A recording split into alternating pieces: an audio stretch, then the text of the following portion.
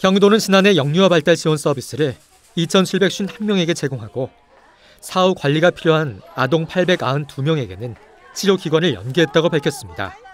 이 서비스는 영유아의 발달 지연을 조기에 발견해 무료 선별 검사와 양육 상담, 치료 연계 등 영유아의 건강한 성장을 지원하는 형태입니다.